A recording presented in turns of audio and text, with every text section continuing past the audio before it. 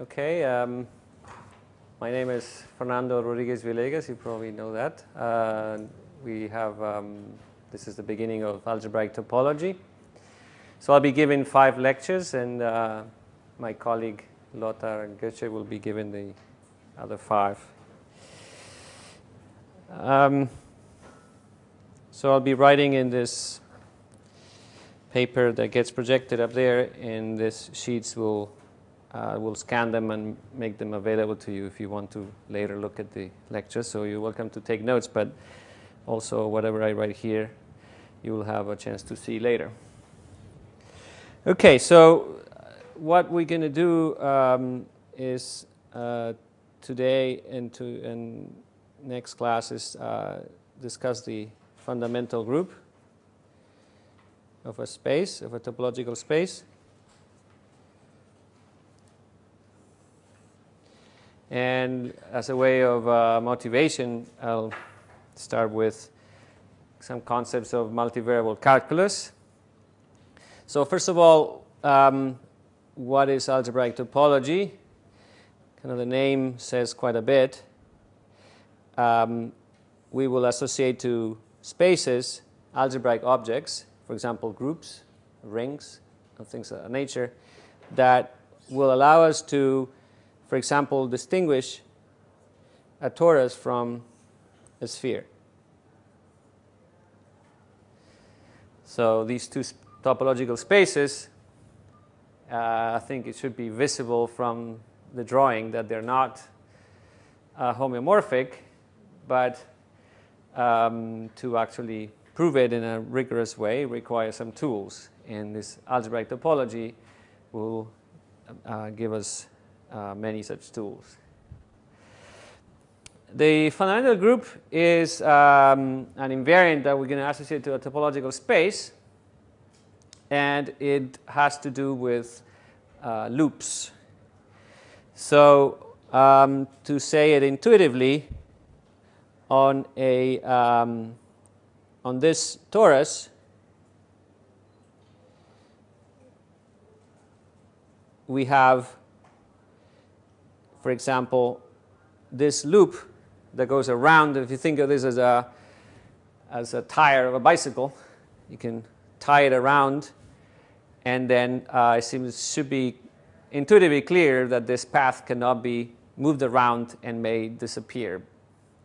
Whereas if you do something similar and try to tie a um, string around the sphere, you can again intuitively see that you can pull it out and make it disappear. So this loop is not really attached, not tied to the sphere, whereas this loop is.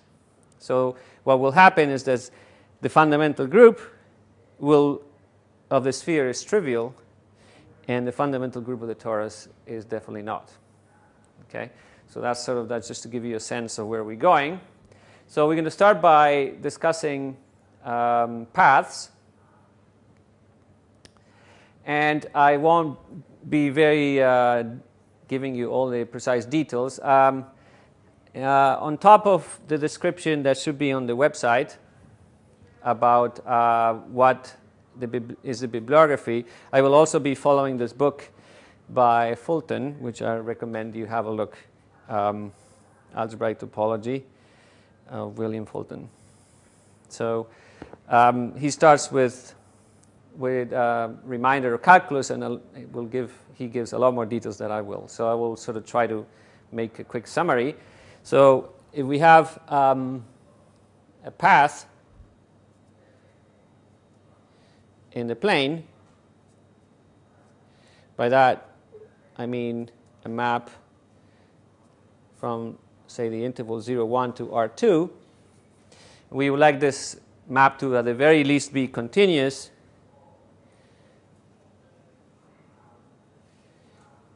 And let me just say smooth in the zero interval. And one, to do this precisely, you also have to worry about what happens at the edges. But I'll skip the details. Um, I want just to give you a sense of what we're going to do in comparison to things I hope you've seen. Uh, you must all have seen some form of multivariable calculus before, right? So when you have uh, in multivariable calculus, one of the things that you do is you consider line integrals.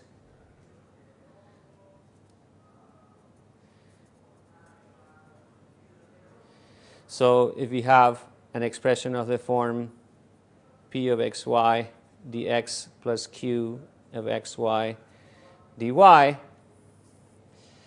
you um, can, in a path, you can make sense of the integral of the path um, of the this object, which is a differential one form on a path. It's defined to be the integral from 0 to 1. You basically replace the x by its um,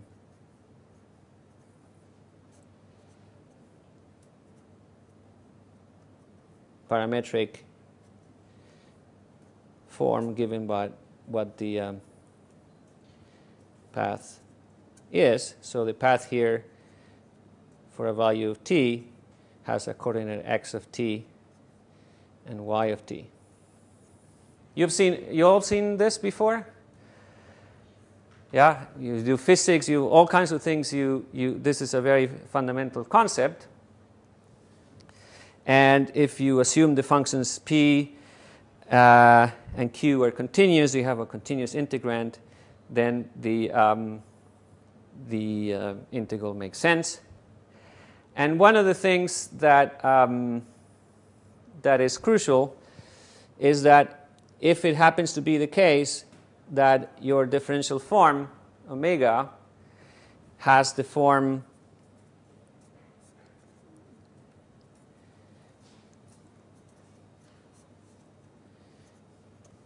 like this, which we abbreviate by saying that this is df for some smooth function f.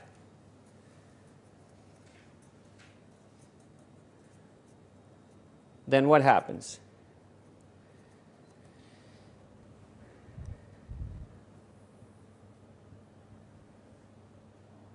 It's a question. Sorry? Or more precisely, the integral doesn't depend on the path as one answer. It only depends on the end and beginning points it only depends on the beginning and end points, but more precisely,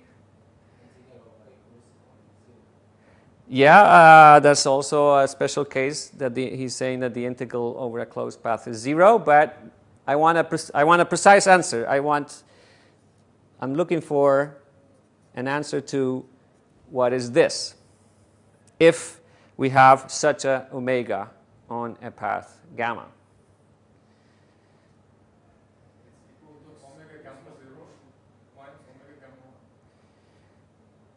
He's saying is omega of gamma zero, gamma one minus omega gamma zero.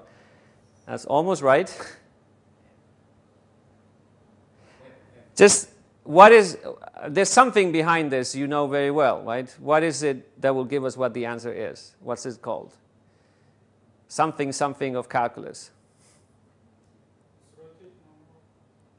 Not yet. There's much simpler like this.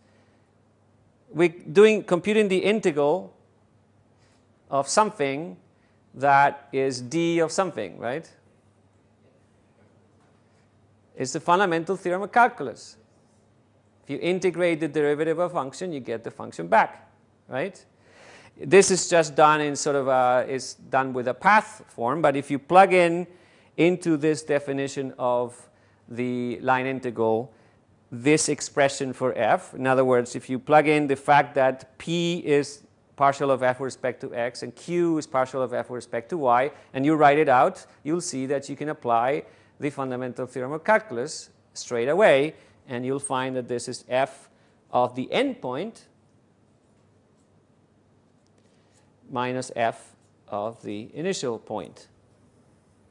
And as he was saying, if the endpoint and the initial point happen to be the same, then this number would be 0. But otherwise, it's whatever it is.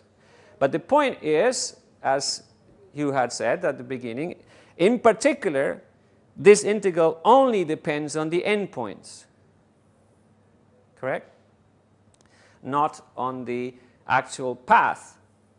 But this is the case for this particular kind of um, differential form omega, which is uh, called exact. Okay, now so I'm going to introduce or discuss a particular kind of differential of this sort. So this uh, discussion I just talked about R2, but we can also just concentrate on any particular open set of R2. So let's consider the open set U to be the right hand uh, right plane in R2. So let's look at the open set where x is positive. So in the usual coordinates x comma y. Okay? And in this open set, so this is x and this is y, I'm looking at x positive. If we have a point of coordinates x comma y here, I want to look at the angle measured counterclockwise from the x axis. Okay? So let's look at that function angle. And um, my points are in the right plane, so they can go from here to there, right? I don't go past. So that uh, theta angle is a perfectly well-defined function on my open set. So it goes to, let's say, the real numbers is the function theta, is the angle. Okay, so it's going to go more precisely between minus pi halves to pi halves. And if you um, use the standard trigonometry, you can write it down as the inverse tangent of y over x. Okay? Now, I want to compute d of theta with the notation that we had before. So I want to find what is the partial derivative with respect to x and the partial derivative with respect to y. Anybody know?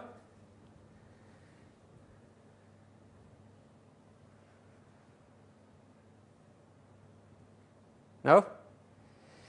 Okay, I'll write it down in the, um, given that we have limited time, but I'll suggest you actually do this calculation, which is not hard.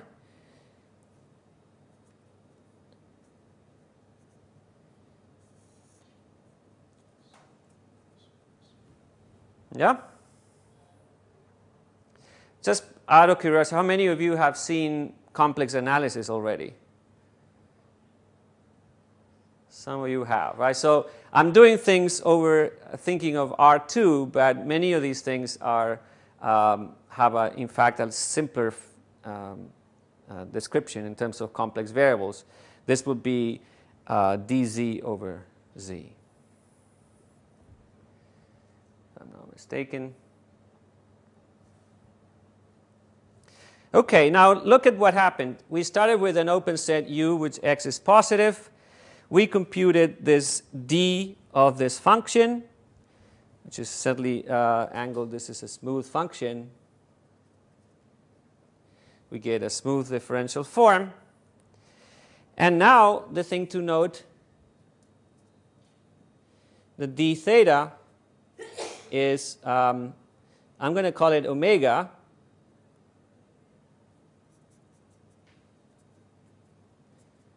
Omega is well defined where?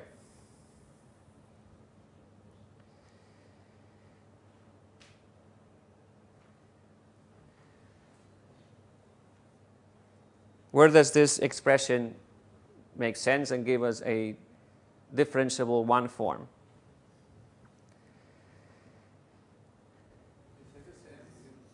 Sorry? everywhere except 0, 0. So this is well defined in R2 minus 0, 0. So now we have a differential form that's defined everywhere except the origin. And in particular, if we take gamma to be the path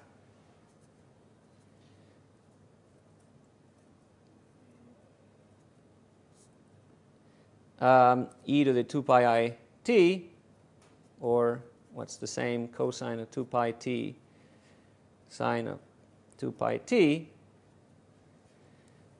So we parameterize in the circle in the standard form, starting at this point and going around once with a 0 in the middle. What is the integral of omega on this path?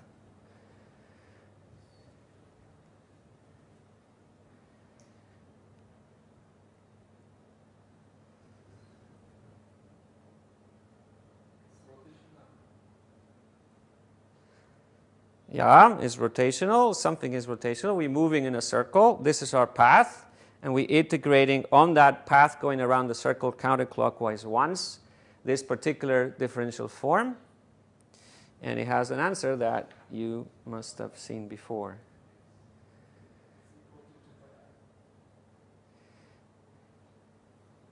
There's no complex numbers, I, uh, except I did that as a shorthand. When you do the integral, you have a real differential form and you integrate on a real path. The answer is a real number. So you're off. He's, he said 2 pi i. The answer is 2 pi. I mean, all of this I'm saying is multivariate calculus, and it shouldn't be hard to do. I suggest you do. I'm just going quickly because I want to get, this is sort of as a motivation for what we're going to be doing. I don't want to spend um, a lot of time on it. So why does this not contradict what we said before. So if you recall what we said before, let me bring it up again.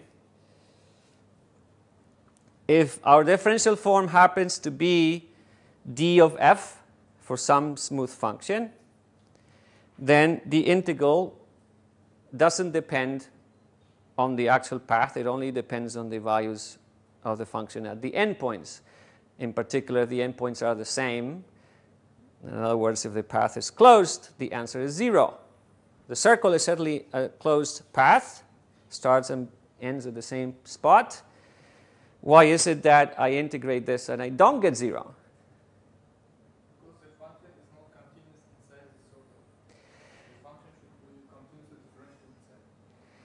Because omega this should tell us omega is not the f of a function in all of R2 minus the origin. It is um, d of something as calculated here, but in this particular open set. In fact, it's going to be such in any open set as long as it doesn't completely enclose the origin. Okay, so this tells us that so there's another thing to observe here is that the integral, in fact, if I multiply this by r, so that I have a radius, circle of radius r, the integral is also 2 pi. So what I'm trying to get at is that um, for, for one thing, the integral not only doesn't depend on the path. Um, but this is true as long as we can sort of deform the path uh, in a continuous way.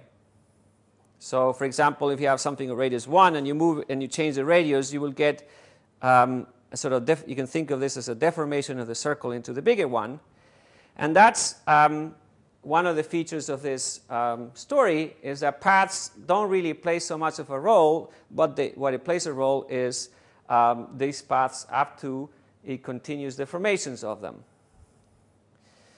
Okay, and so what we, the fundamental gonna, group is going to do is capture precisely the nature of paths up to uh, the continuous deformations. Okay.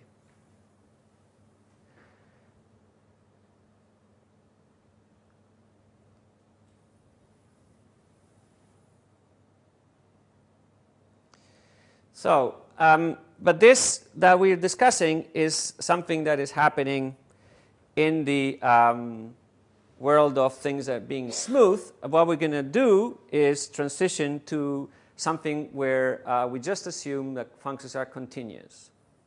So the story about the fundamental group is about topological spaces of uh, completely arbitrary with no uh, smoothness involved. So we're going to repeat uh, some of these arguments, but done completely in the setting of continuous uh, functions.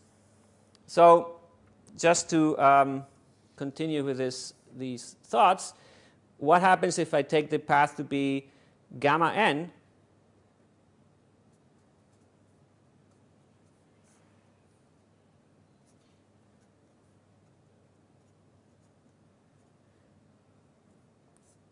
which is e to the 2 pi nt,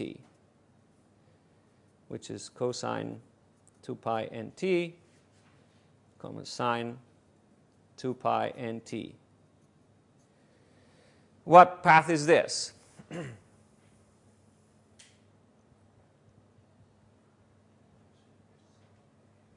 Sorry?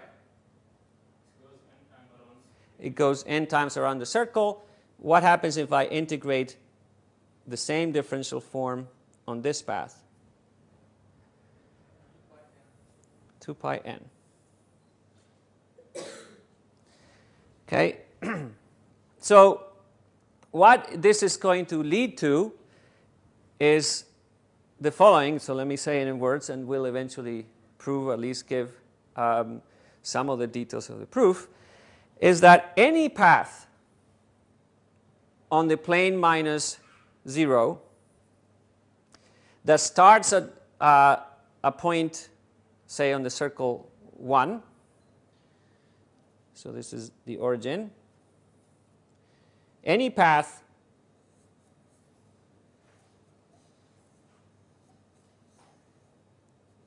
that you draw on the plane avoiding 0 will have a winding number it'll be, it will, you will, will be able to measure how many times it goes around the zero. And what will this translate into is that, um, let me call this x is, so I don't have to write it all the time. The uh, fundamental group of this space is isomorphic to the integers. Okay, so every path will have a certain number of turns around the origin, which will be described by an integer. An integer which is positive, if you go counterclockwise a number of times, and negative you, if you go the opposite direction. And up to deformations, which I'll will make precise in a few seconds, every path has a, attached to it an integer, which is exactly the integer measures how many times it goes around the origin. And um, so up to this deformation of paths, every uh, path looks like the one we just drew, gamma n for some n. So any path, no matter how crazy it is, can be continuously deformed to be one of these simple ones that go around the circle in one direction or the other a certain number of times. So this is one of the fundamental uh, examples that we're going to uh, discuss in more detail. But this is one way um, to describe, um, to see what the fundamental group can do for us as an invariant of spaces. Um, the same thing applies for x, the unit circle, because any path that you have in the plane minus the origin, you can shrink it to fit into the unit circle without changing its, um, the nature of what this measures. Well, the technical term is that is homotopic to a path on the unit circle. And so what we have here is an, a, a first example of a case where the, um, the fundamental group is not trivial. All right, so this was meant as a motivation, and now I'll try to be a bit more precise. There are many definitions and many little things to check to do uh, to progress with this theory. So I'll prove a selected few, and I'll leave some for you to as an exercise. But you also, I suggest you actually read the book and do the steps as indicated in the, for example, in the book of Hatcher's, which you can done, download online, right? You know that the, the book you can get free online. Um, is one of those tedious things that one has to do once in your lifetime. You know, if, you, if this is the first time you've seen a fundamental group, this is the time to do it. Of course, unless you have to teach it, in case you have to do it again. Um, okay, so now back to something a bit more formal. So X is a topological space.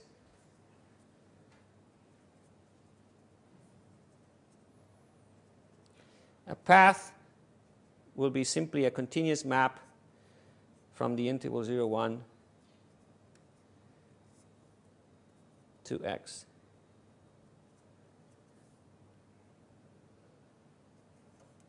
Okay? And notice that I dropped the condition that um, anything about smoothness because x has no smoothness uh, uh, in, is intrinsically any sense of smoothness. It's sim- simply a topological space.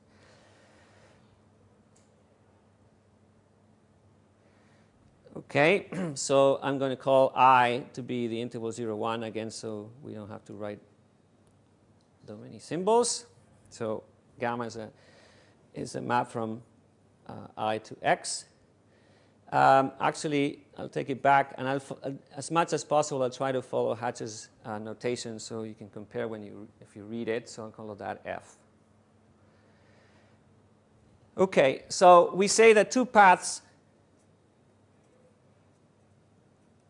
F0 and F1, are homotopic. So now we're getting into the fine detail of what a deformation means if there is a homotopy between them.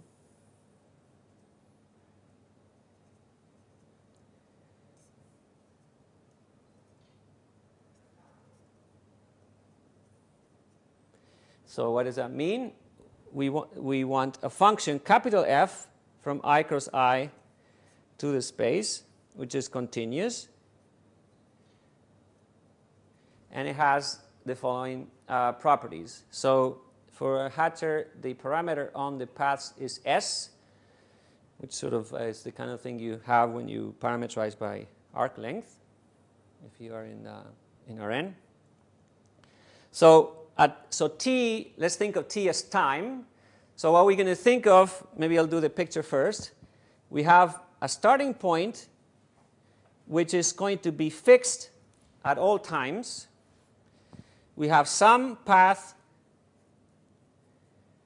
f0 and some path f1.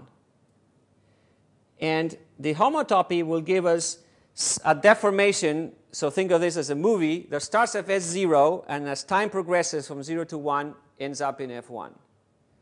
Okay, so at any given time, we'll have some path that goes from x0 to x1. Okay, and so what I want to uh, will write down are precisely those statements. So we're going to think of t as time. T, at time 0 we have f0, and at times 1 we have f1. And the fundamental thing that we want is um, that at any given time the path has initial uh, point x0 and final point x1. So at times t equals 0, we want to have f0. At times t equals to 1, we want to have f1. And this will not be such a great notion. We also, as I said, want to fix the fact that at, for all time,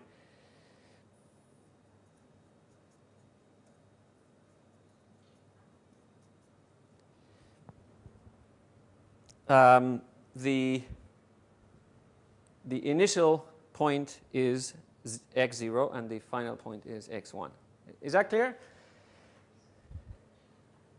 So this is a precise way to define what it means that f0 and f1 can be sort of deformed from one to the other. The existence of this function capital F, this homotopy, is uh, the precise definition of what it means uh, sort of deformation. But this is sort of done in an abstract way.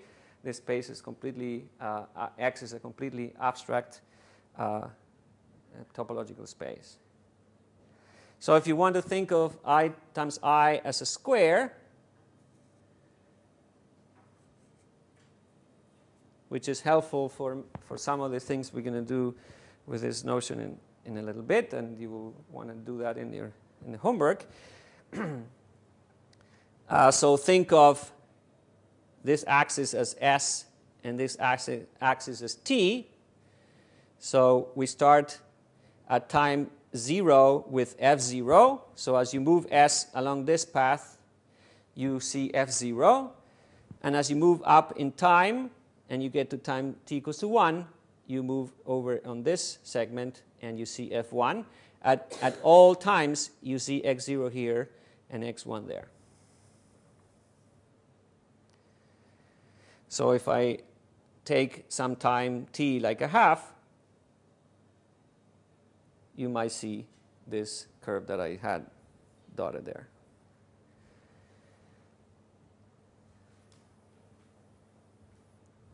Okay, so this is uh, formalizing the idea of a deformation of a path, which, um, as we were saying before, is a natural notion, for example, in multivariable calculus or just calculus in the plane.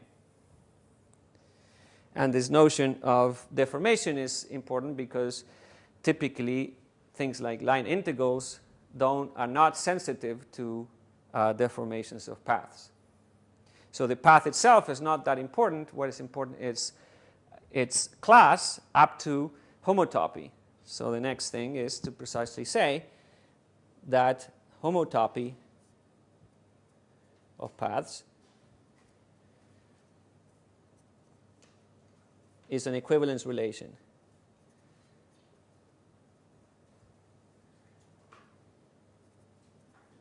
So that it makes sense to talk about the class, the homotopy class of a path.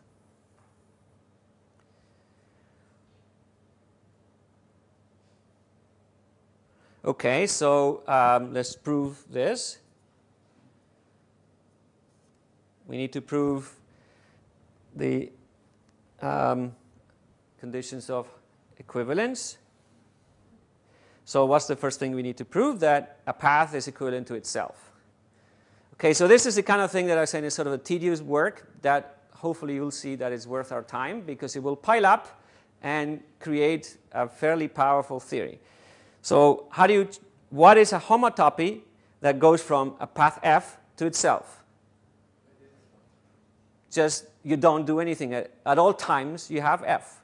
Okay? So that's easy. So I won't even write it. If f0 is uh, equivalent to f1, already I'm abusing notation because I'm writing that it's equivalent. We, we, we still don't know, but anyway. Um, so there's a homotopy that links f0 with f1. What is the homotopy that links f1 with f0? You reverse the order and you just reverse time and you start at 1 and you finish at 0. Okay, so I won't also write, won't write that, that one either. And this one, the next one requires a bit of more work, so let's, let's see how we can do that. And as, as I said, I'm going to do, I'll do this one to give you the very, a, li a little bit of a hint of um, the kinds of arguments that one does for many of the things that we'll do later, which um, I'm going to skip uh, the precise details of. Okay? so uh, a, a, picture always helps in this business. So here we have f0. Here we have f1, and here we have f2. Okay, so there is a deformation that goes from f0 to f1, and then there is a deformation that goes from f1 to f2, and now we want to find one deformation that simply goes from f0 to f2. Okay, so let's take a little time to do this carefully, and, uh, and then after that, I'll, I won't be as careful as that. So what is the actual um, homotopy that we should use? By the way, um, Hatcher do, uses, uh, does that, uh, this, and I think is a useful. So we have this capital F function, um, and it, it's convenient to think of uh, the capital F function as a collection of f sub t's, which are the path at time t. Okay? And this notation is consistent when t is 0, you get f0, and t is 1, you get f1. Okay, so f and a half is, is this, for example, this dotted line that we had before. So we have, um, so then I should be a little bit more careful, and maybe what I'll do, um, yeah, this, let me do this. Let's say G0 equals to G1 is um, homotopic to G1. So we have a homotopy capital F, which gives us a sort of a family of paths f of sub t, and we have a family of path g sub t. So what I want to construct now is a family of paths that goes from f0 at times t equals to 0 and g1 at times t equals 1. Okay, so how do we do that? So I want an h sub t such that h of 0 is f0 and h of 1 is G1. Okay? So, what do I do?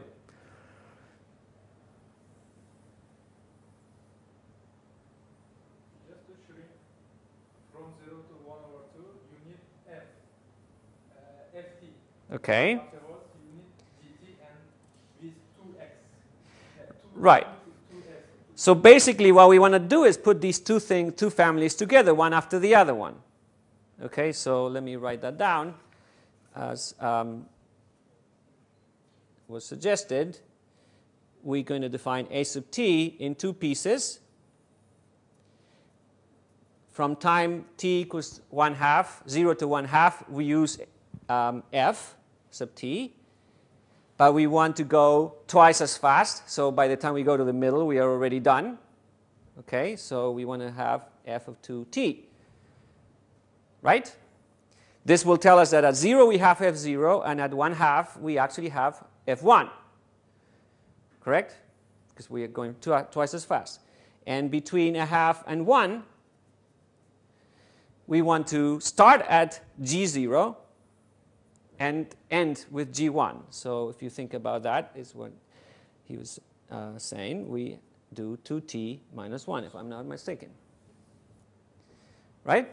So t equals a half gives us g0, and t equals 1 gives us g1. And this is the homotopy.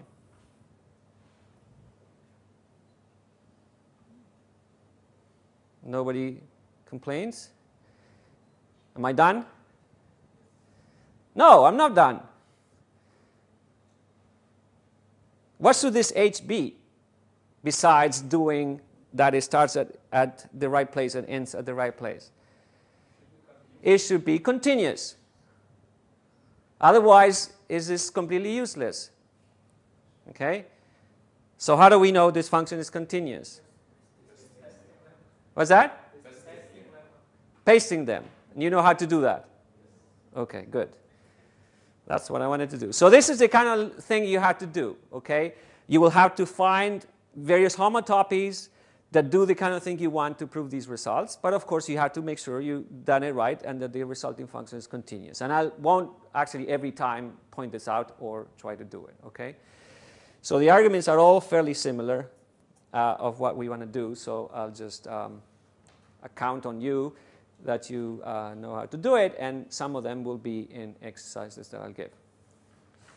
Okay, so now we have equivalences of paths. The, uh, any path determines a unique homotopy uh, class. It's an equivalence relation. And now comes the uh, fundamental idea, is that we can multiply paths.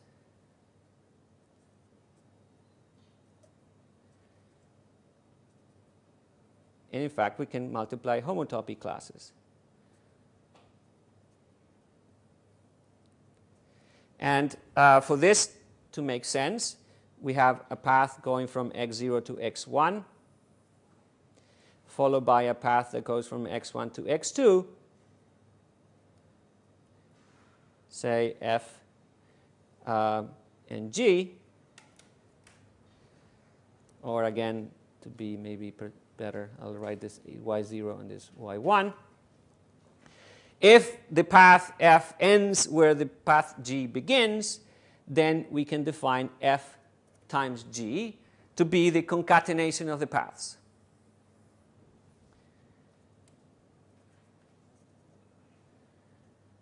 And again, we need to verify that we can do this in a continuous way, in the sense that uh, the path is a continuous map from the interval to the space. So the intervals, we could have chosen any, uh, any closed interval that you liked, but we stick to 0, 1. So this is parameterized from 0 to 1. This is parameterized to 0 to 1. So to put them together, we shrink again the interval to half to get uh, the beginning to be f, and then the second half to be g. And then we put them one after the other. And um, so what we're going to say is that f times g is f of t now t, uh, sorry, it should be s. s is the variable that is moving um, in the parameterization. And um, then after that, sorry, uh, I guess I should have put f of 2s. Thank you.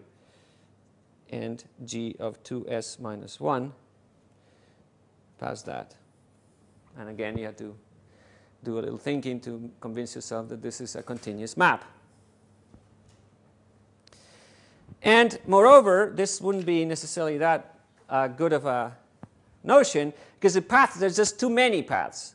Homotopy classes are the thing we are after. So what we want to verify is um, that the homotopy class of f times g depends only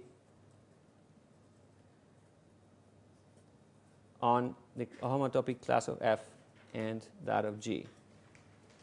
So, I'm, uh, so here, this I'm defining to be homotopy class.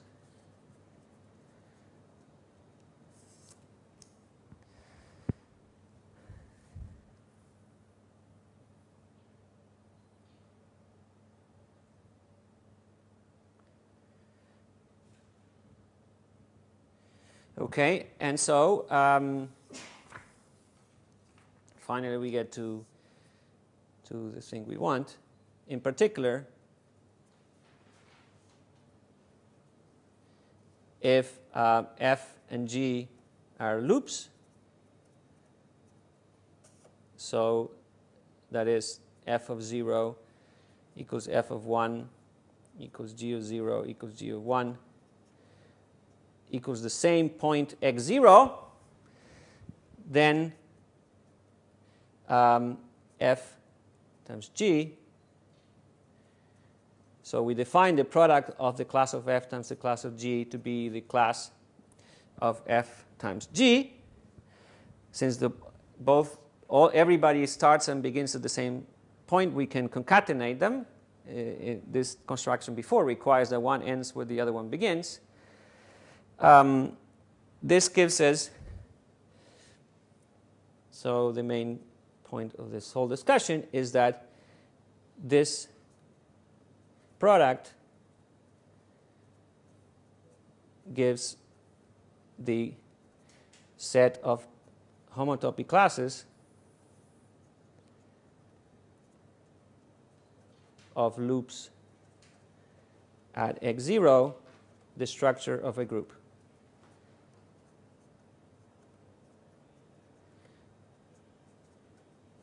Okay? And this group is denoted by pi 1 of x comma x0.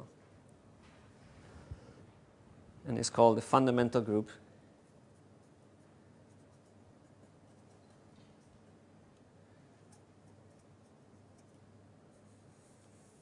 Okay. And what I was saying before is that, for example, the fundamental group of the circle, or what's the same, the fundamental group of the plane minus the origin, is isomorphic to the integers. Okay?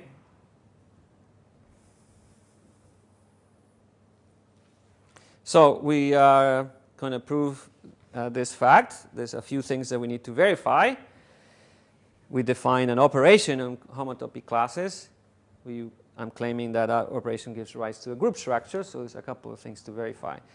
But um, let's um, do one simple thing first.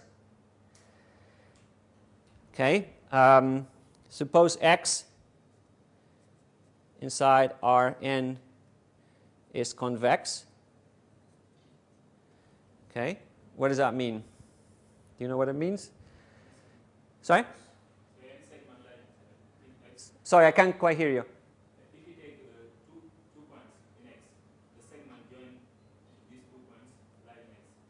Right, so what he's saying is if you take two points in x, x and y say, and you join, you take the segment that jo uh, joins them, which, which makes sense in Rn, that whole entire segment is included in your set x. Okay, so um, if that's the case, um, if f and uh, 0 and f1 are paths from, uh, so are from i to to x that start and end in the same the same points.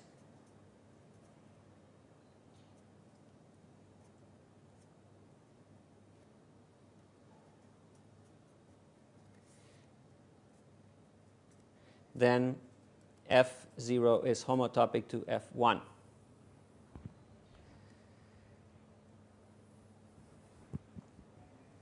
Okay, and why is that? How would you define a homotopy between any two paths whatsoever? So here's our convex set, say in R2. Not quite that, sorry. So this is our X. So here are two paths.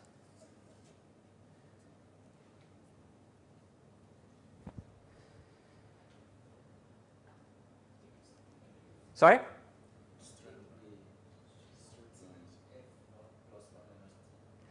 Right. So we can simply take a linear homotopy. We take uh, t.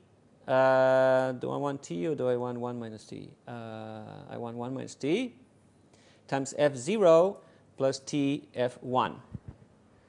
So at any value of s, f0 of s and f1 of s are points in our set x. This linear combination for any t gives you some point in between the two and a line between the two. By assumption, because x is convex, is a point of x. Correct? And so this is a path in x that starts at f0, starts at f1, and what are the values of this at 0 and at 1? ft of 0 is 1 minus t times x0 plus t times x0, so that's x0, and the same for 1. Since the points are the same, the segment between them is simply the point itself. And so this is a homotopy and certainly a continuous function. And so this is a homotopy between the two paths. So in particular,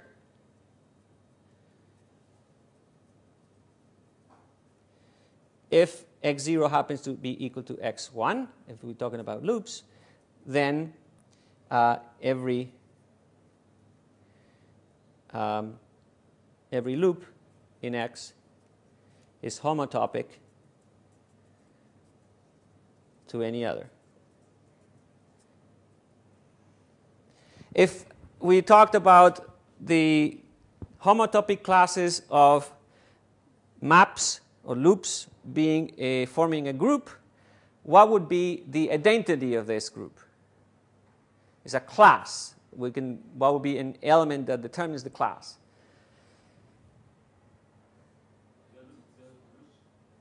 Go ahead. The, there is a tr completely trivial loop, which is the one that never leaves the starting point, the constant lo uh, loop. So, for example, then f0 or any f is homotopic to, let me abbreviate by just saying the point, or uh, maybe more precisely, x0. x0 as an abuse of the path that is always equal to x0. Okay? So if, if given this statement and the fact that this particular uh, element is the element, the trivial element of the group, what is the fundamental group of a convex set? Trivial.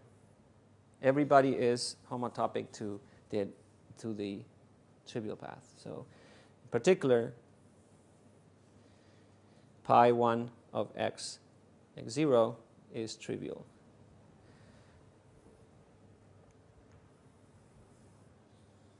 Okay? So, uh, for example, x equals the unit disk.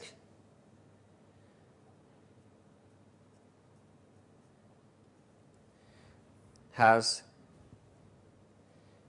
trivial fundamental group. And if you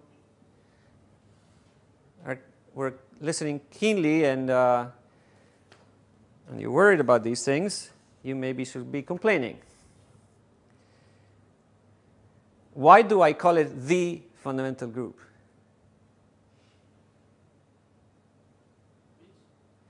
Well, somewhat tacitly in this statement, I'm saying the fundamental group is trivial. But this is a, little bit of a pedantic point, but it's worth uh, being careful. What is necessary to define the fundamental group? You're talking about a space and a base point. You need to pick a base point to talk about loops. They have to start and finish somewhere. Okay? So a priori, there isn't just one fundamental group. There is as many fundamental groups as points that you could choose. Okay? So let's uh, be slightly careful about that. So in many circumstances, the base point doesn't play much of a role, as we'll see in a second. But you have to remember that is there. Okay? The, the invariant is not associated to just the space. It's associated to the space together with the choice of a base point. Okay, so before uh, we still we still left aside the proof the proof that this thing was a group, but let me um, before we do that, let me mention this statement. So just to get it out of the way, so if x is path connected, what would that mean?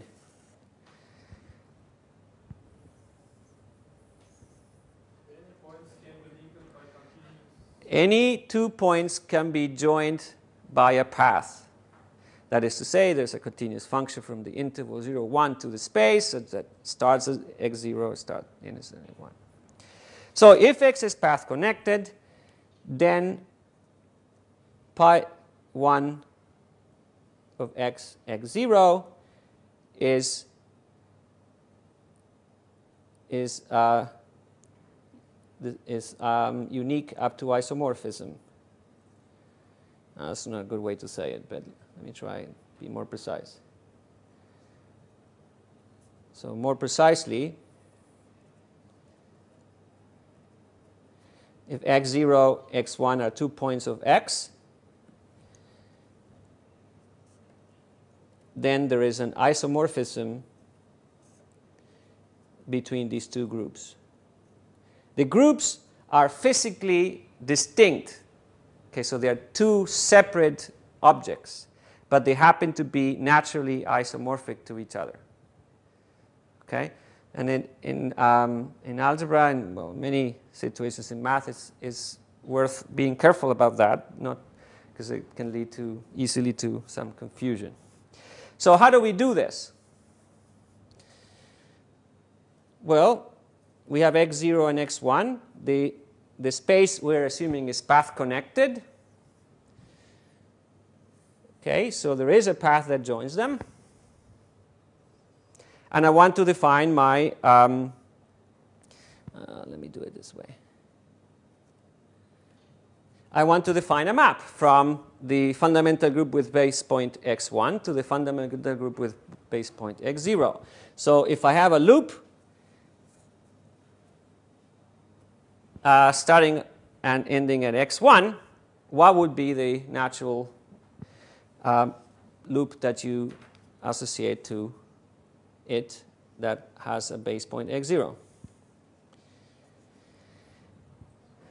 Well, you go from with this path to x1, then you follow the path and then the loop and you come back.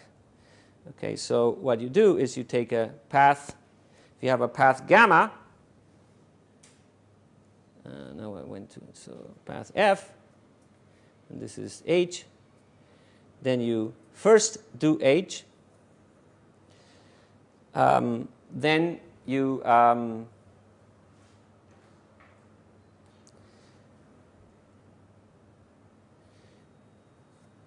then you do f, and then you come back. And that come back is the inverse path, which is defined to be the path that goes backwards. Okay, and so this will give us the isomorphism between the two groups. So with a some abuse of notation, one can talk about the fundamental group because uh, oftentimes you, this is the kind of spaces you're going to look like. Of course, if you have a space that looks like a circle over here, union the disk, if you pick the base point here, you're going to get z. If you take the base point here, you're going to get trivial. So, you know, you have that tri kind of trivial, trivial situations. Often you, you, we're just going to stick to uh, one path connected component. Uh, otherwise, things are, are clear what, um, what the trouble is.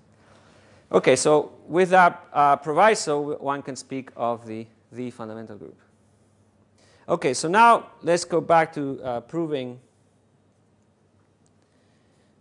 the proposition.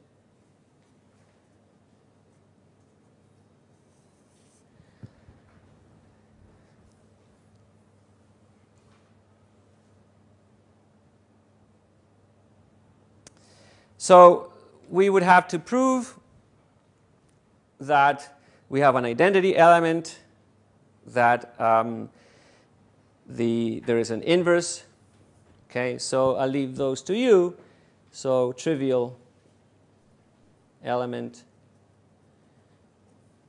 is the path that is always equal to x0.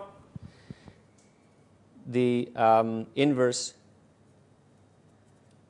of a path f is not of the path of the homotopy class, is the class of f inverse, which, as I said, is defined to be the path going backwards. And these two things, of course, need a proof, but the proofs are not difficult. I'm going to skip them and just give the, the fact that the, um, the product is associated. So if we have three paths, we should um, see that we have a homotopy between f times g first, followed by product with h, and the product done in the other way. And I'll sketch the proof of this fact and then leave the other ones to you. As I said, they're all sort of very similar in spirit and they're worth doing at least once in your life. Okay. So, um, how do we do this?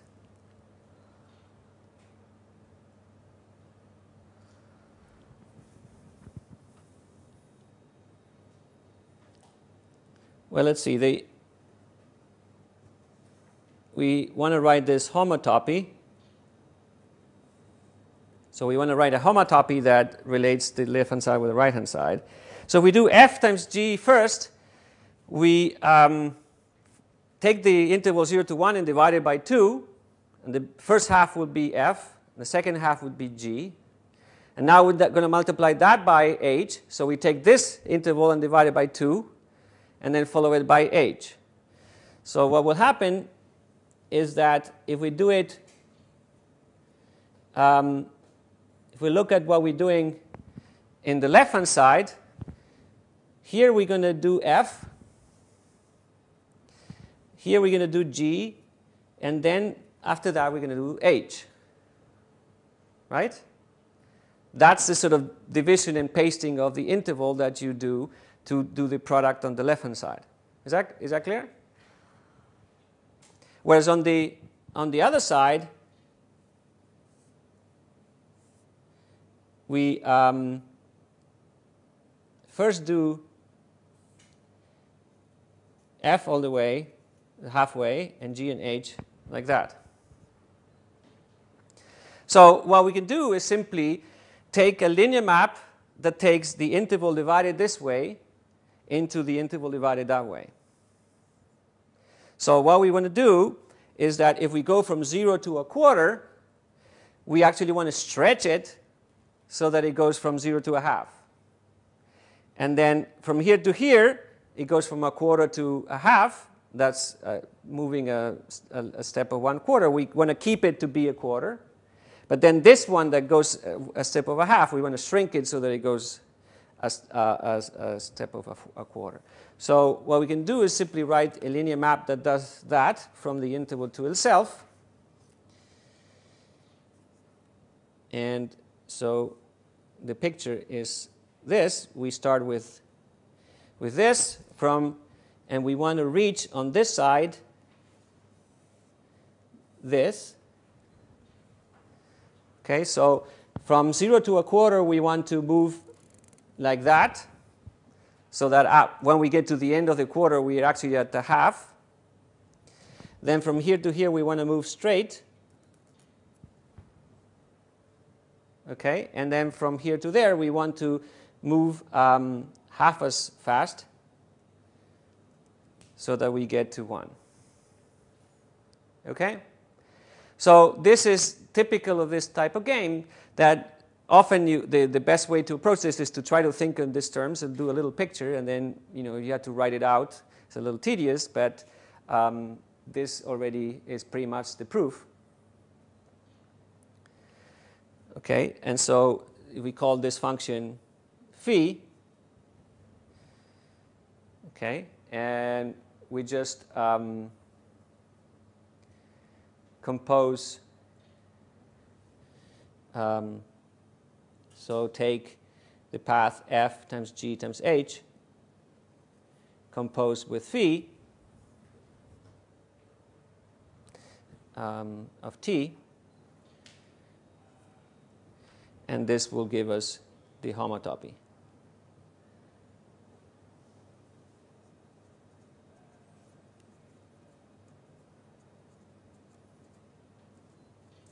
Okay, so again, I'll skip the details. You have to convince yourself, make sure that this is a continuous map, etc.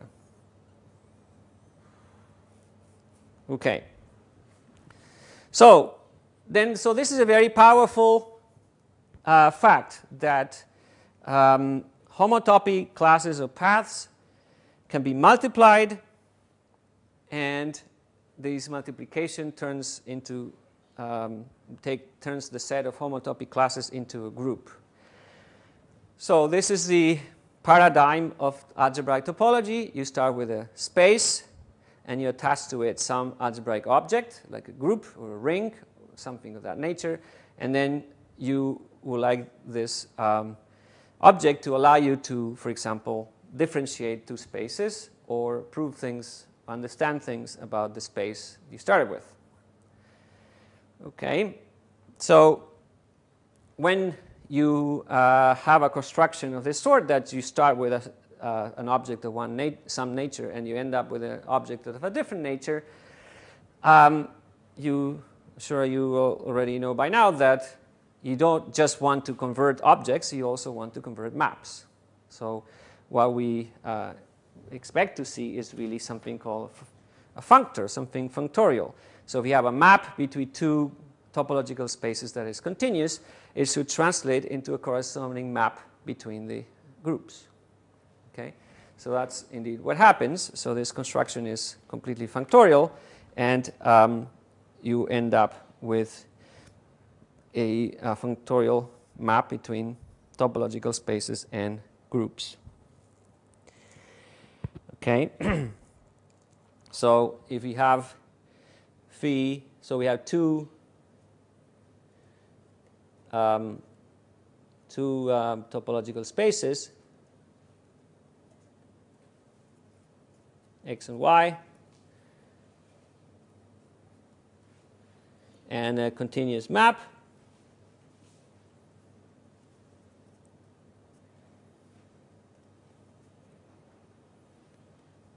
that takes x0 to y0. Remember that you have a base point. So it's not just the maps in this category that we are considering it's not just the maps, continuous maps that map a space to another. You also have to keep track of the uh, base point. So let's do it before we talk about loops, about uh, paths that go between uh, two different points a priori. So we have a map I. So we have a, a, uh, a path that goes from uh, the interval uh, so we have a map that goes from the interval to x. Um, then we can continue that with a map phi, the map phi that we have to y, to obtain a map from i to y. And if it, um, the, so if this um, phi of, um, sorry, if f of 0 is x0 and f of 1 is x1, then by construction, this new path f composed with phi takes 0 to y0 and 1 to y0. So, and it suddenly continues. This is a composition of two continuous functions. Excuse me? Oh, Y1, thank you. and this, um, so it takes path to path, and this, um, this is compatible with homotopies. So it's again a simple matter to verify that if you have two homotopic maps f0 and f1 on going to x, then after you compose with phi, you're going to get two homotopic maps going to y by composition with phi. And so this leads to uh, the fact that then phi gives the map go phi lower star that goes from the fundamental group x0 to pi 1 of y, y0. So if x0 is equal to x1 and y0 is equal to y1. So in particular, spaces that are homeomorphic will give rise to um, isomorphic fundamental groups. Again, being careful with the base points. So the fundamental group is a invariant, uh, let me be more precise, the isomorphism class of the fundamental group is a um, invariant of the space. And um, I don't want to completely start, maybe I'll do a little bit of the, non, the first non-trivial calculation that we'll do, which is to, uh, in fact, compute the fundamental group of the circle and prove what we somewhat argued before, that that group is the group of integers.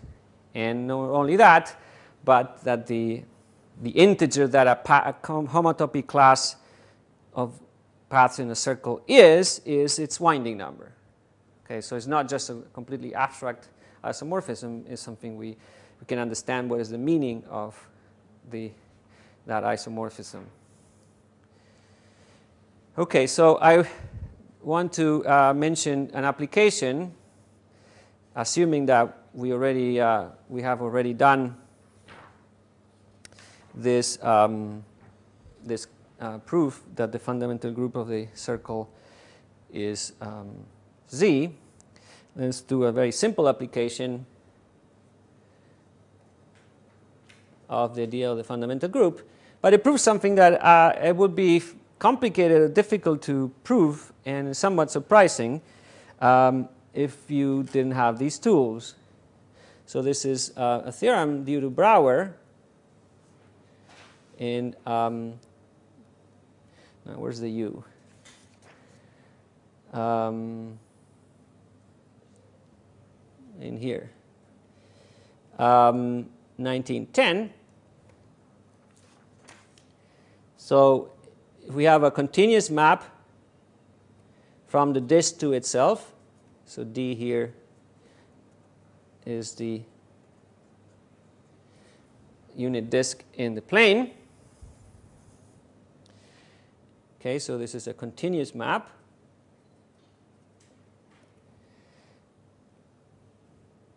Then H has a fixed point.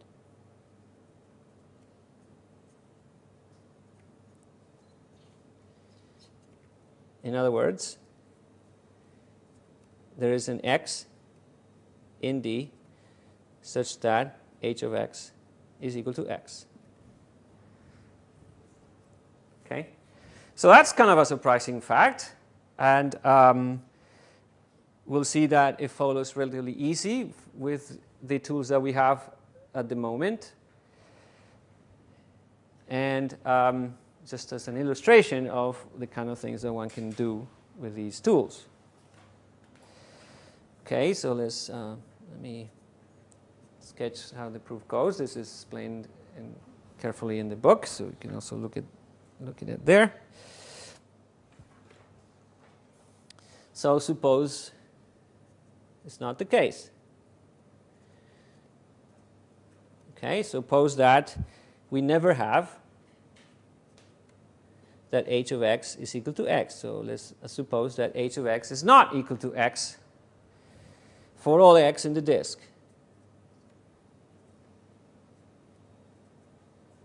Okay. So we're going to define a map from the disk to the unit circle.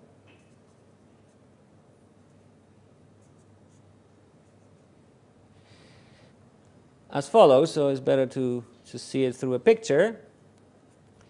So here's x, say, and here's h of x, the value of the function.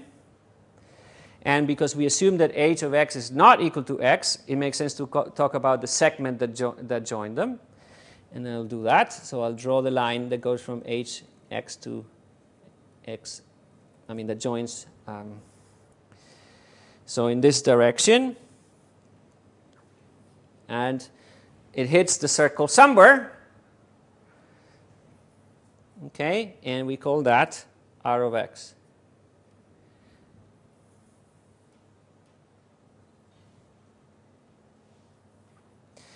Okay, so this map R is continuous I guess we would have to be a bit careful and to verify this, but if you slightly move the, the x, the function h is continuous, so h of x is not far from it, from what the original value, and the sec so the whole segment is not. That's a bit of a wavy hands argument, but hopefully uh, that should be enough. Um, what else can we say about this? Um, what happens if x is in the unit circle? What should be the value of r? x itself. Okay, that I guess is part of doing this carefully because we have to define what it means, the value. But clearly, the value of r, if we want this to be continuous, has to be that the value is itself x. Okay?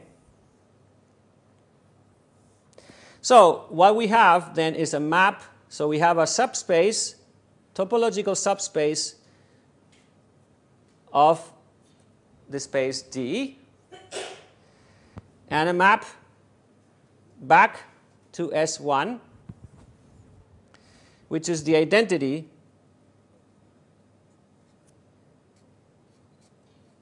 when you compose. Okay, so this such a map is called a retraction.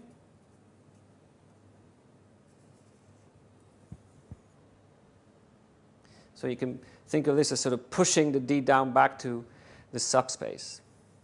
Okay, so you pull the subspace up and you then you know, this kind of pushes it down, keeping the subspace as it is, unmoved.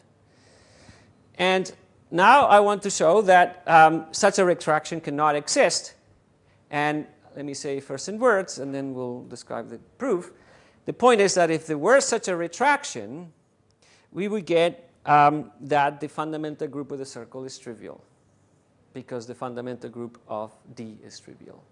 So in other words, given that we have this map, we're going to be able to retract any map, any path on the circle using the fact that we have D at our disposal. And we know that that cannot be true because the fundamental group of the circle is not trivial. Again, assuming that fact which I haven't yet completely proved. Okay, so uh, let F0 be a loop in S1 and just pick your favorite base point. At this point, it doesn't really matter. So uh, in D, there is a homotopy.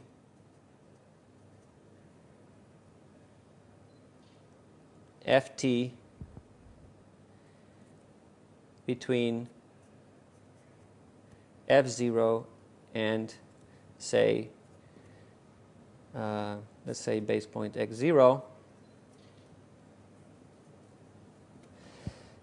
between that path and the um, and the uh, constant loop x0. Why is that?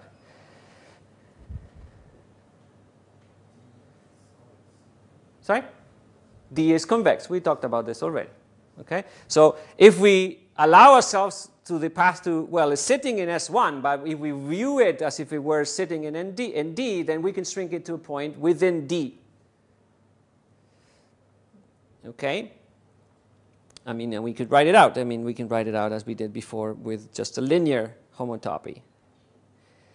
So now we consider the composition of R um, with ft.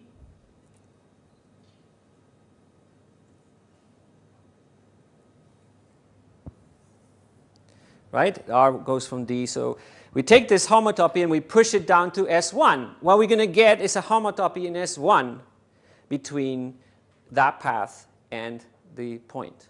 And we know that is not possible. So the point is then that this homotopy um, is a homotopy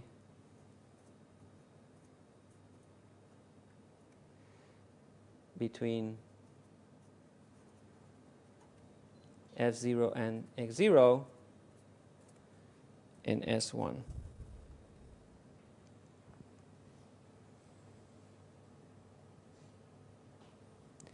Right, so R composed with F0 is F0 because, um,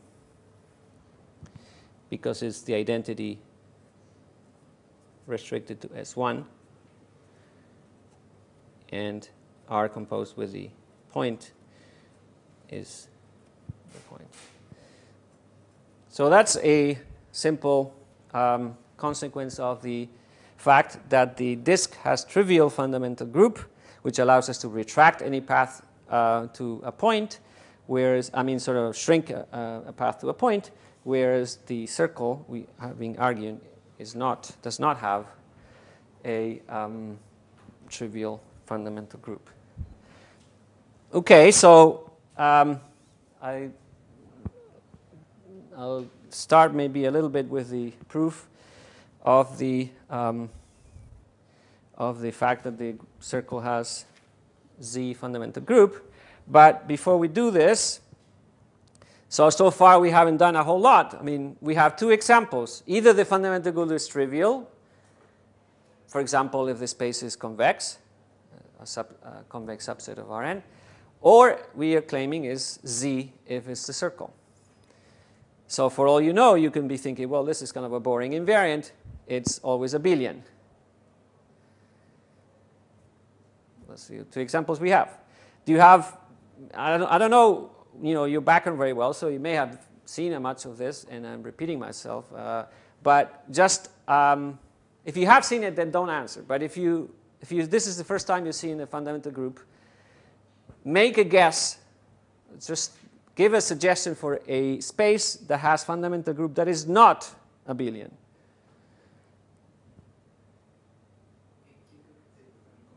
What's that? Sounds like you answered too quickly. Maybe you, you knew this in advance or no? Okay, he's saying you take the 8. So if you take this space, so the two circles joined at, at the hip. This will have fundamental group that is not abelian. I mean, we don't have all the tools to be able to show this yet, but we will. So, but let's just argue um, intuitively. I mean, much of this requires sort of both. You need to have the technical tools to be able to prove things, but you also, the intuition is important to get a sense of what is happening before you actually can prove it. So, what will you think is the group, the fundamental group of this space? Let's take that to be x0. That looks like a natural point.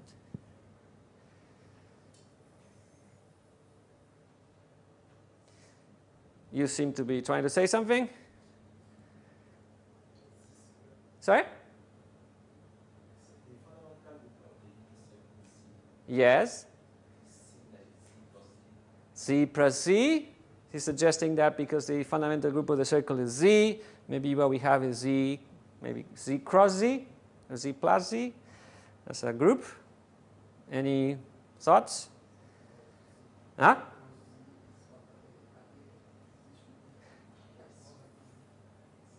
Yeah, well, it will still be abelian, but that's a guess. We, I'm assuming you haven't seen this, and we're trying to, you know, trying to understand this intuitively first. So why do you say Z plus Z? You, we have at least two paths that look like we cannot shrink, right? If you go around one circle and we go another another circle, that looks like paths that you know you cannot homotopy that to, to be trivial, right? Which is, which is the case because each one separately um, that's what happens if we just had one circle, so that looks natural. But um, we have, therefore, looks like two really independent generators. But in fact, it's not Z. Because, in fact, they do not commute. Okay, but this will, will need to, to get into this. Um, so it's in fact, um, the free group into generators. Okay? So there are two generators with no relation between them, but that do not commute. Okay? So in fact, it will be a non-abelian group. But again, this is for later. Um, so let me uh, just state what I should be starting with on our next uh, lecture, which is uh, a fundamental fact that we needed to prove the, uh, the fact that the fundamental group of the circle is Z, but it's something that is in itself important. Okay, so, so excuse me, I'll, I'll start with this and time will run out and, and uh, I'll uh, start again when next time. So we, and now we're going to concentrate on the circle and trying to understand it. So an important fact about the circle is that you can view it as um,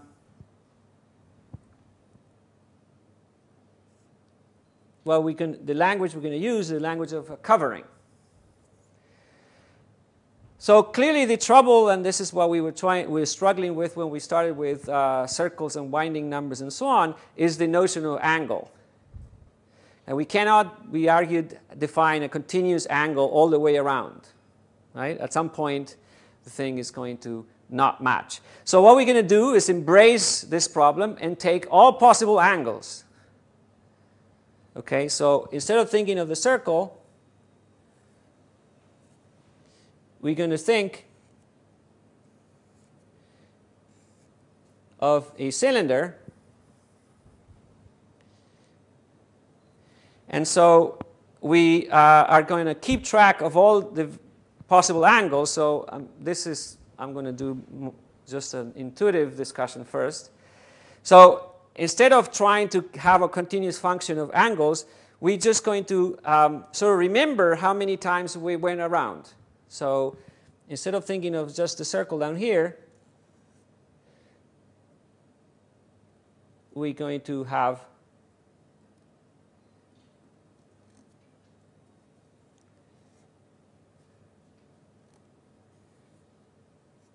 a helix.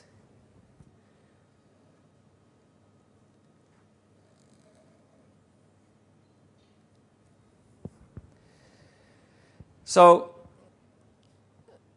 what uh, we're going to need is the fact that if you have, let's just think of a simply the path that we talked about going around n times on the circle.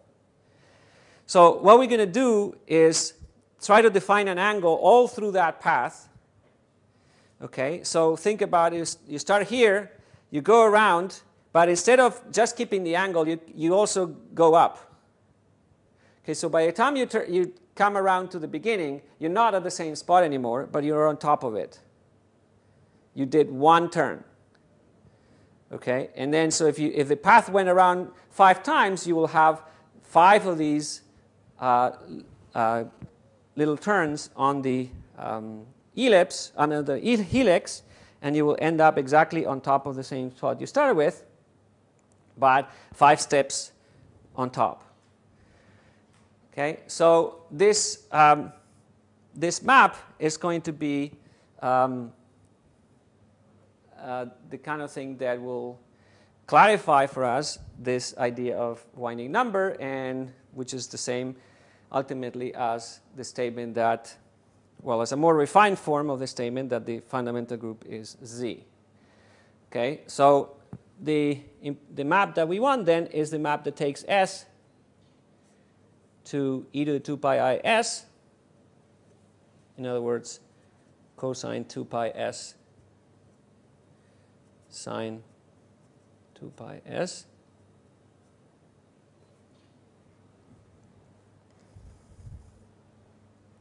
So let's think about how this map, what are the properties of this map? So here, think of S as the um, this height, right? So if we have height zero, um, we are here, So if we simultaneously keep track of S and the turning, we have you know this turn and this goes like this, like that. So this helix sort of unravels the circle. So this will be height 1, height 2, so on, height minus 1, and so on. So what can we say about this map? I'm going to call it P.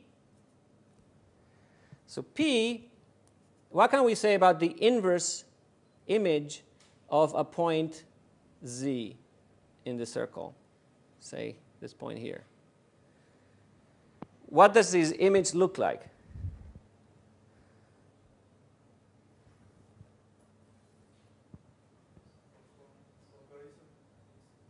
Sorry? Yeah. It's in the circle, so all we need is the angle.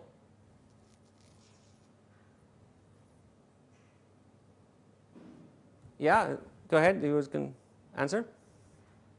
So it's some value of s, maybe I'll call it z0, some angle, z, some z0, s0, then plus what?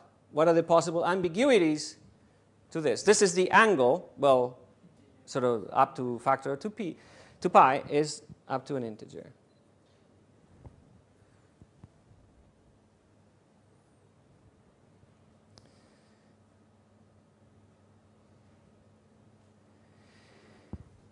So, and also we can be a bit more precise if we take a little open set around this uh, z0, what is the preimage of that?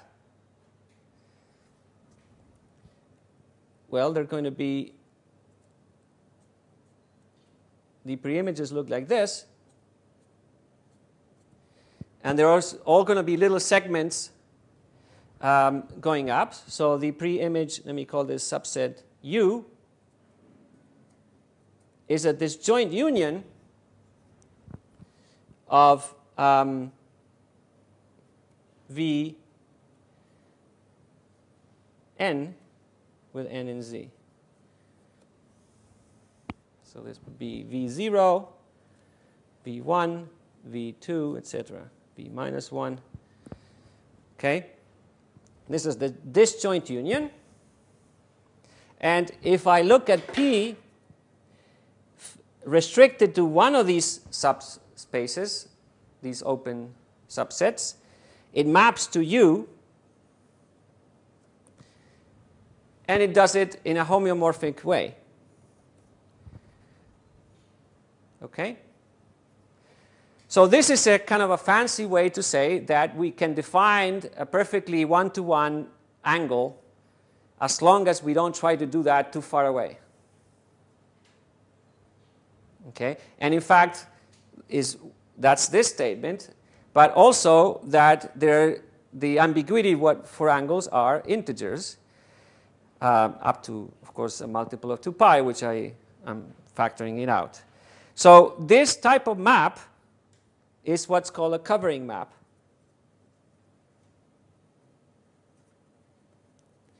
And what we'll see is that the fundamental group is absolutely um, tied with the idea of coverings and which is a, yet another angle to this story that in some sense is even more important than the uh, case of the, the, the, understanding of the fundamental group.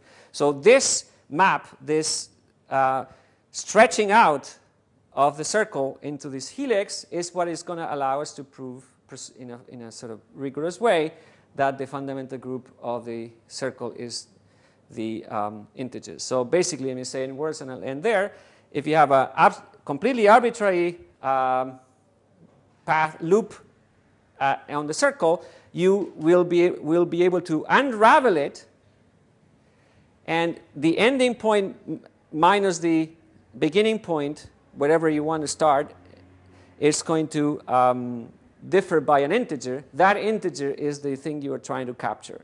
That integer will completely describe the homotopy class of this path. All right, we'll continue next time.